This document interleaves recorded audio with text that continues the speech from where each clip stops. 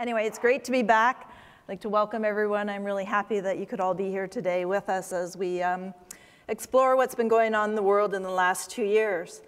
Um, I'm not sure about you, but I've certainly learned a few things over shutdowns. I've learned a lot about um, the various levels of shutdowns, stage one, stage two, modified stage two. Quite frankly, I'm completely lost right now. I think we're just open now, but I'm not really sure. I'm also learning the Greek alphabet. Omicron, next pi, 3.14. We're almost there. It'd be really kind of ironic if they do call it on Pi Day, which is March 14th. Anyway.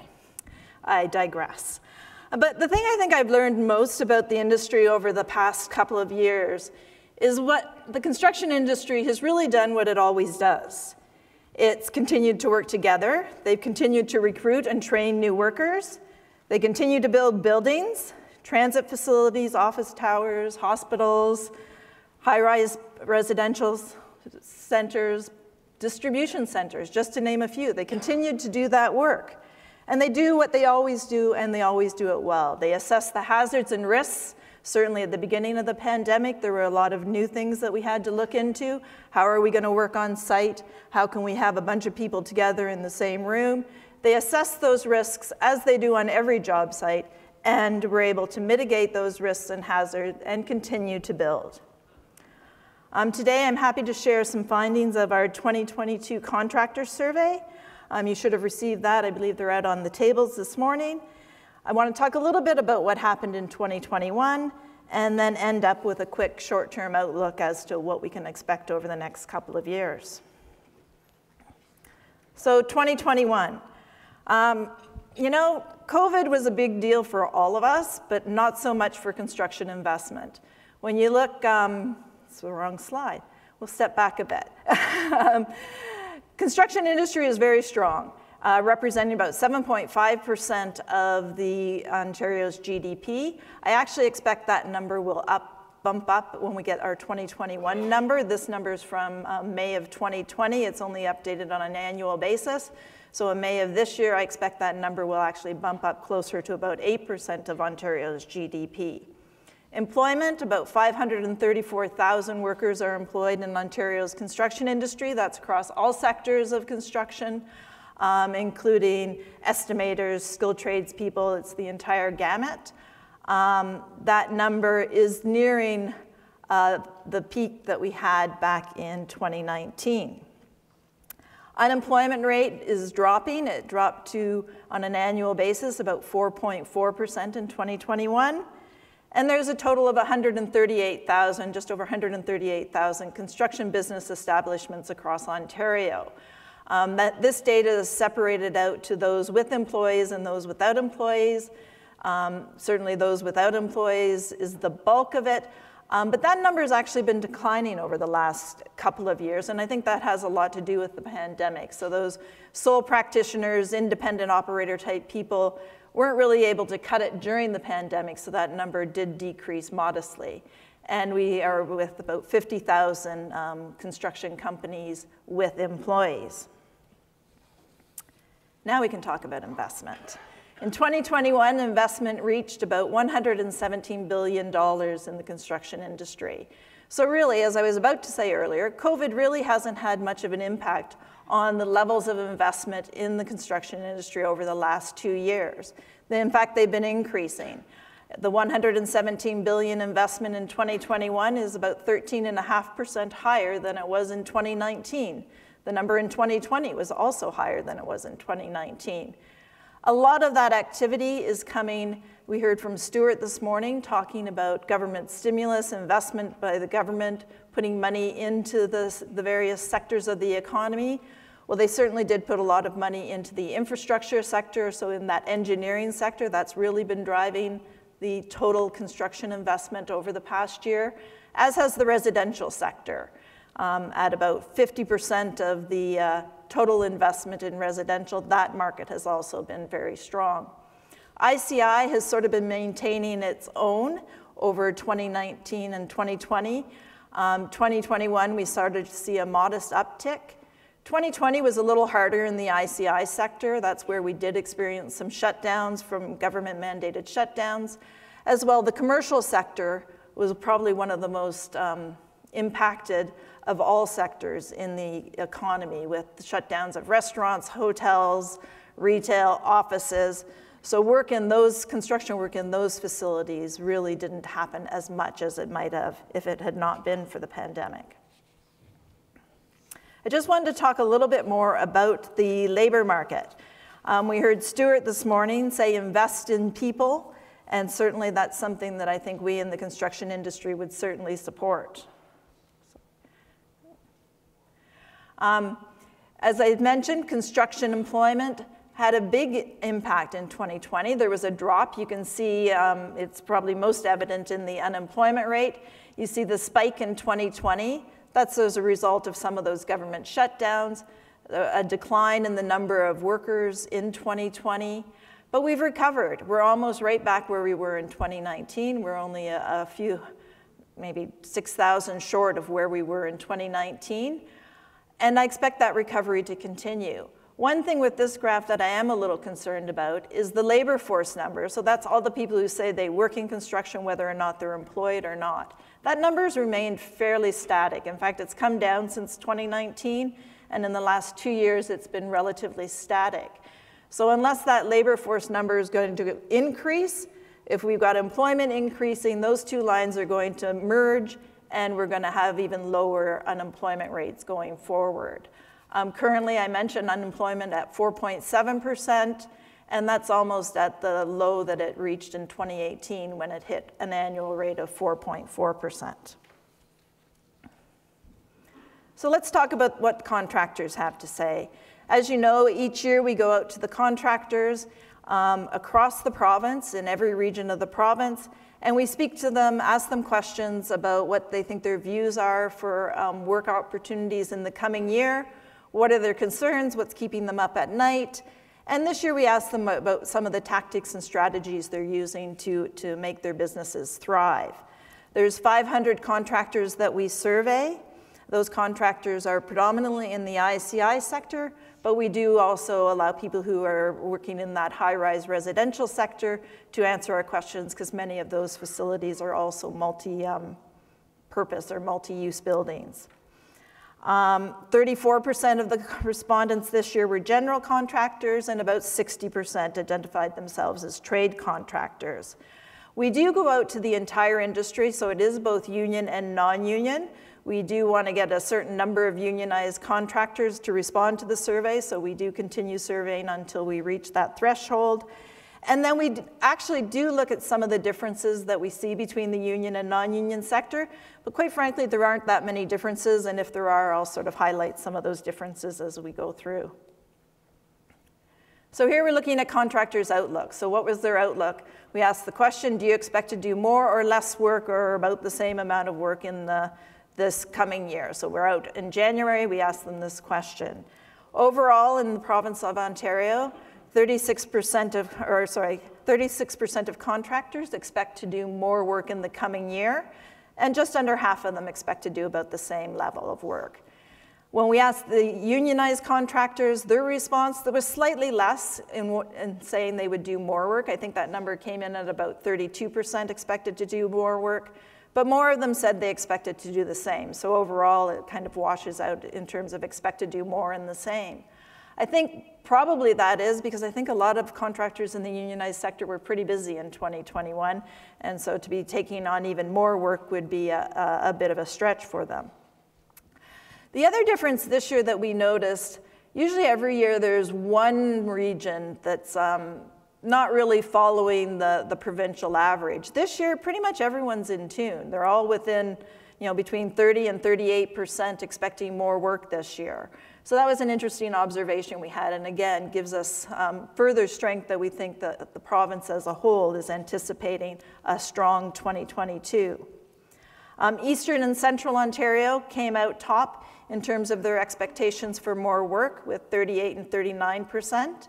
Interestingly, Central Ontario was one of the weaker regions last year when we asked this question. They weren't expecting 2021 to have been a strong year. The GTA also last year, more contractors expected to do less work in 2021 than they, they did the previous year. So they were really, I think, spooked by what was going on with COVID. Um, this year, they're much stronger with 36% of GTA contractors expecting to have more work in 2022.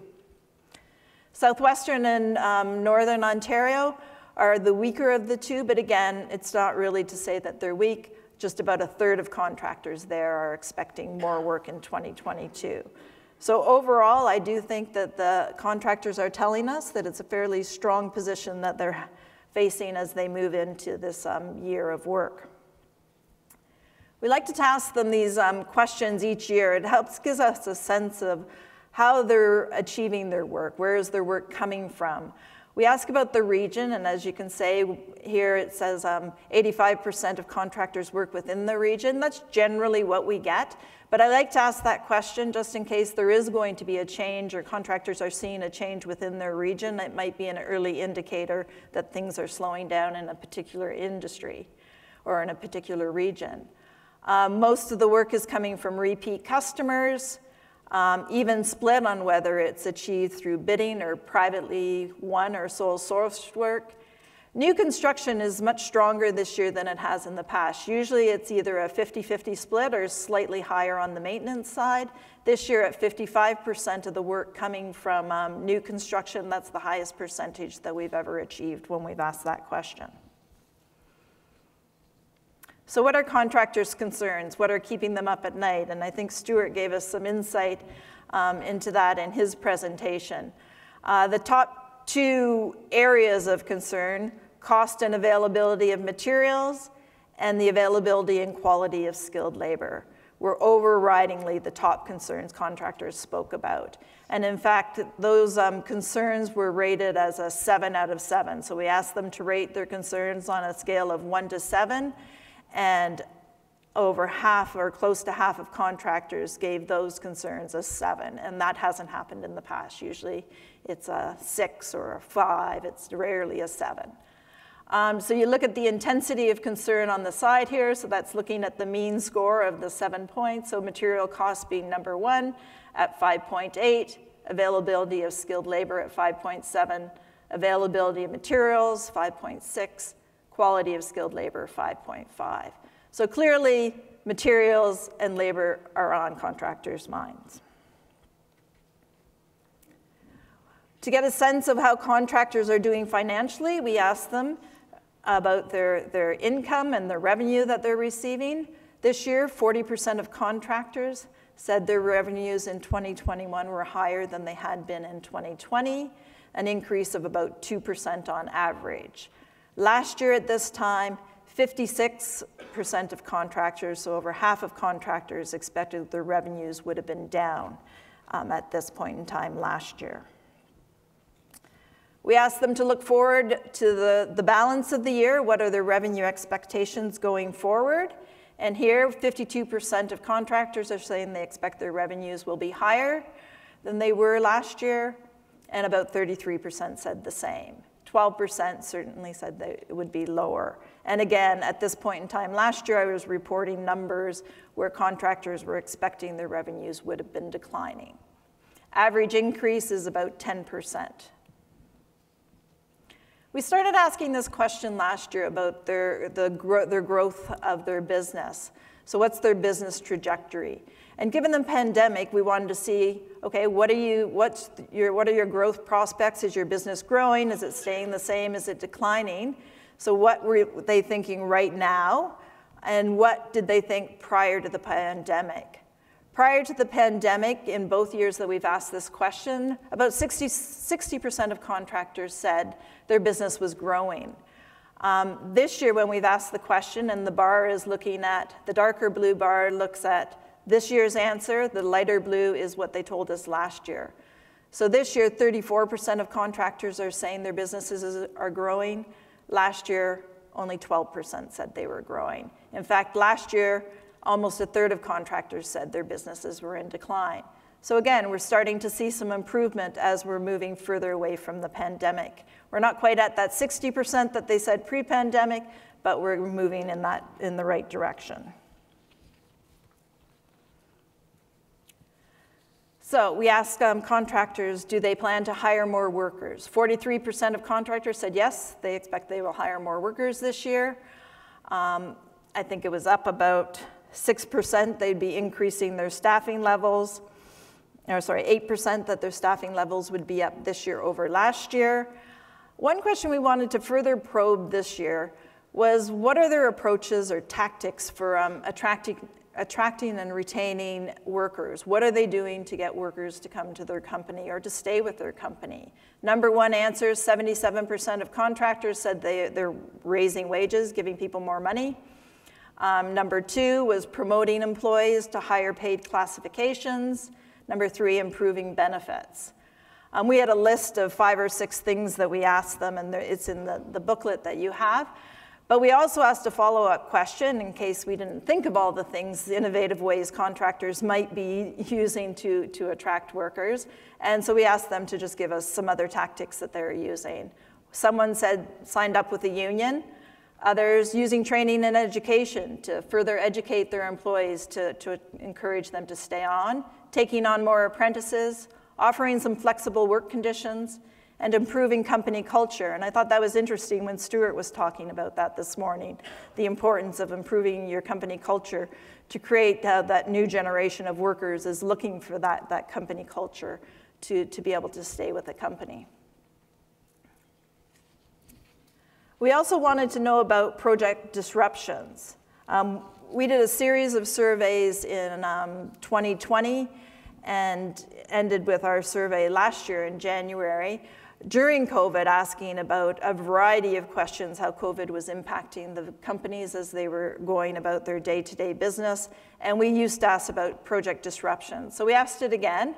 52% of contractors are telling us that they've had projects postponed by the owner over projects that were to take place in 21 or 22, that those projects have been postponed. About two thirds of those have already been rescheduled, so that's positive news for the industry and 38% of projects were canceled. And when we asked why projects were cancel, outrightly canceled, material costs was the number one reason that they gave us. Most of all these issues were related to cost or to COVID. Um, lack of funding, changing in priorities, other reasons that um, owners gave for canceling projects. Supply chains disruptions. Stuart talk, gave us a, an excellent explanation about but why we've had challenges over the past couple of years to get the, the materials that you need to build. I've heard endless contractors talk about the challenges that they've had in getting materials. I was one of those people who wanted to build a deck in my backyard, but did not because of the price of, of lumber there.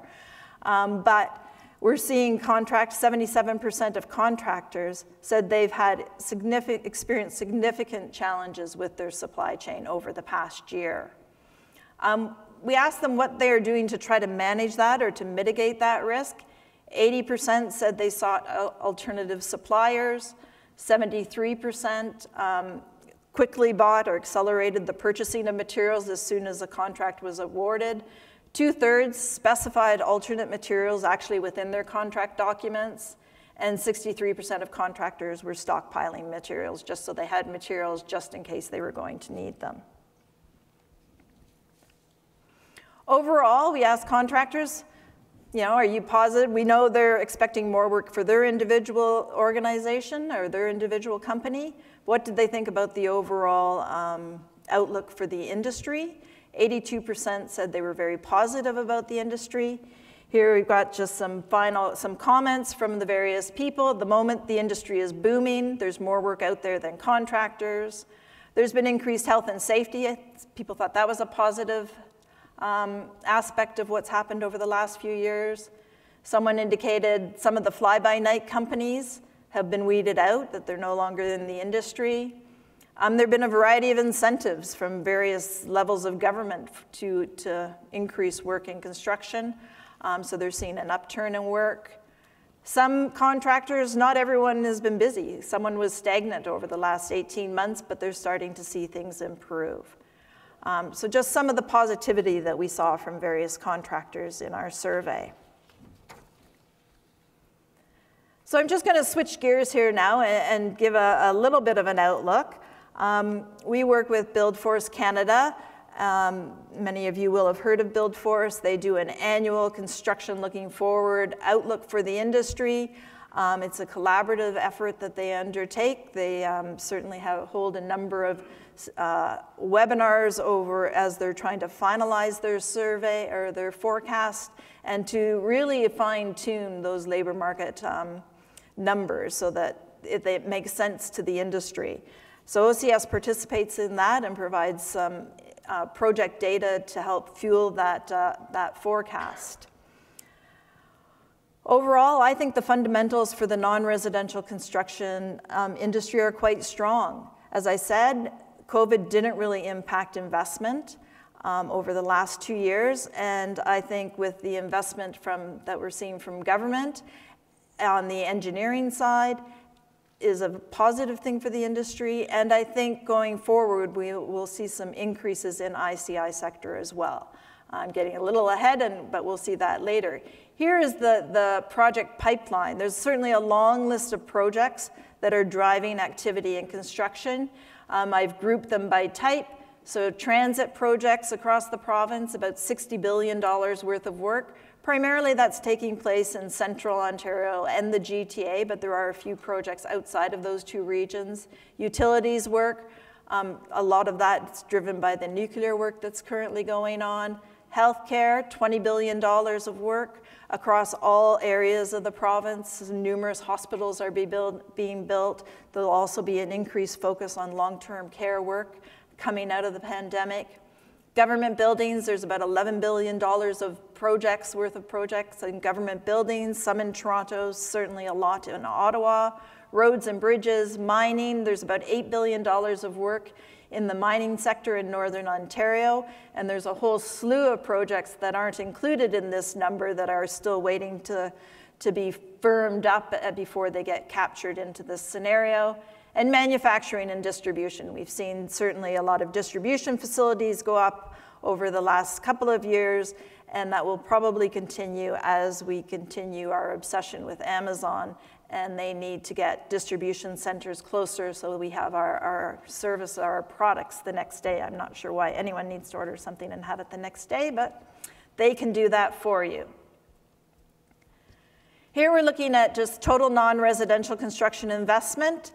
Um, it's projected to increase by about 12% from 2021 to when it peaks out in 2016.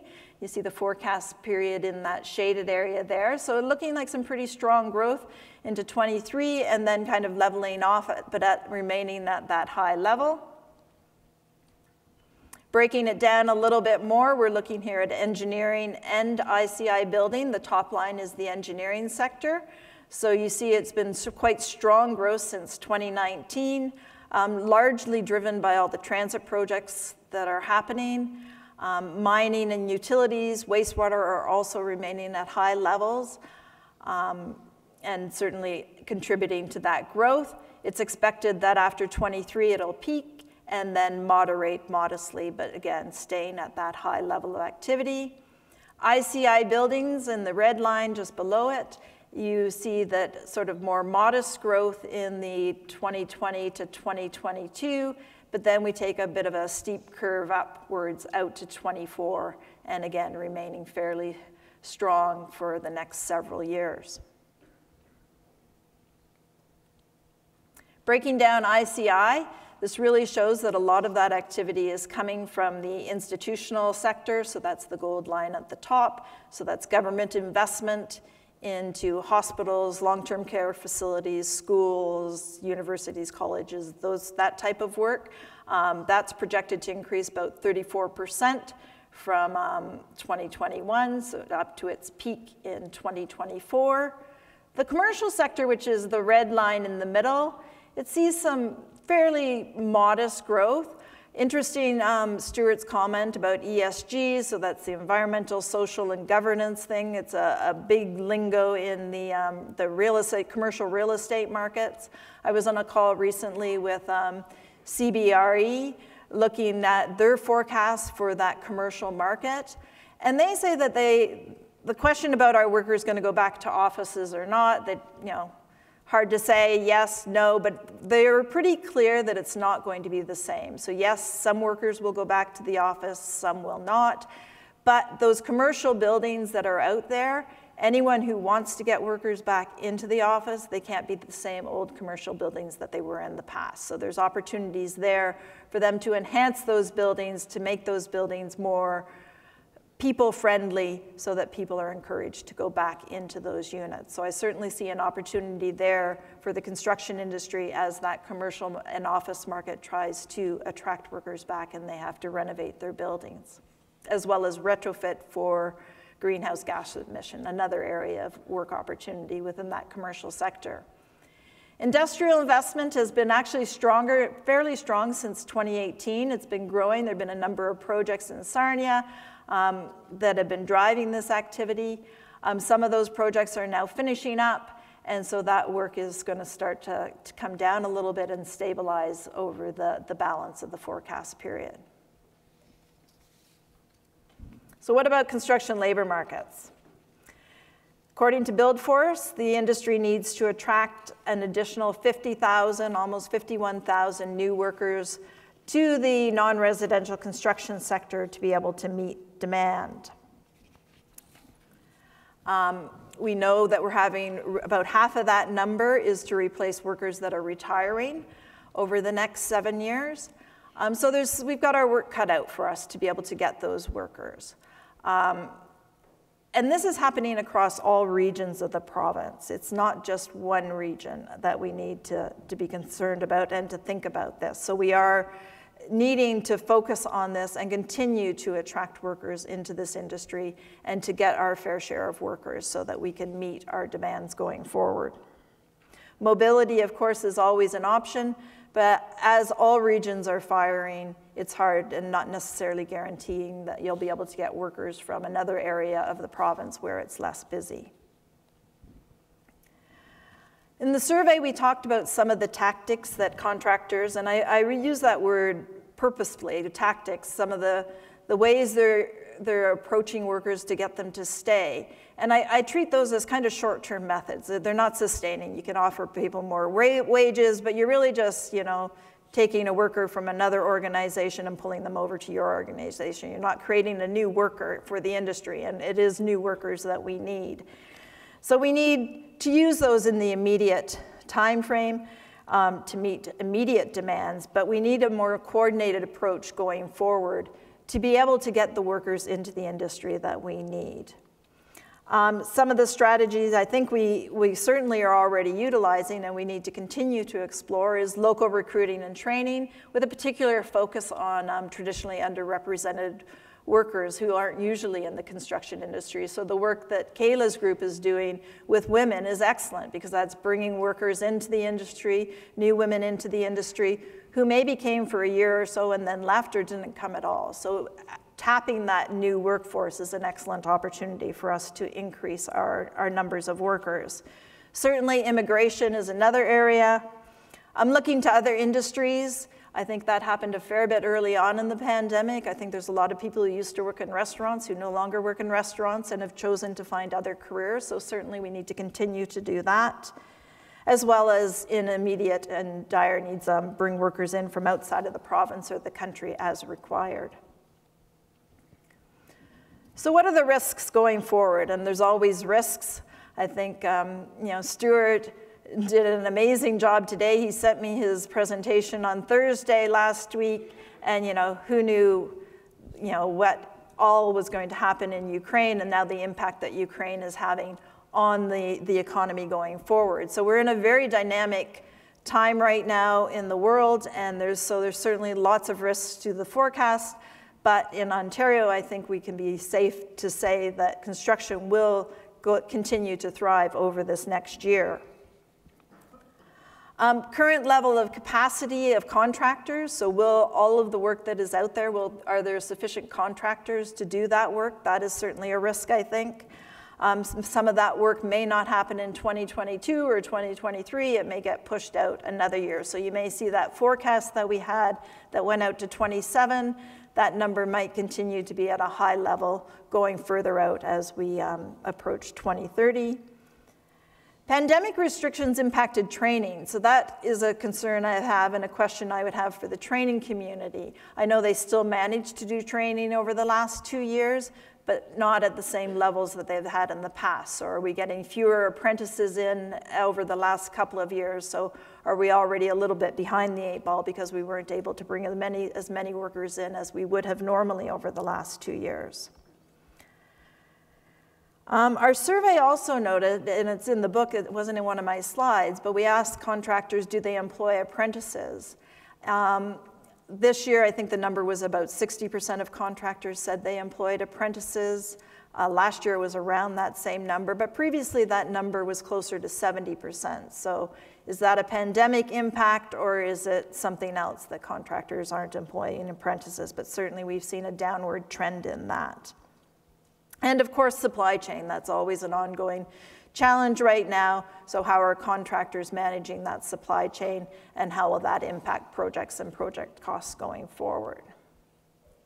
So what are my key takeaways, I guess, for this year?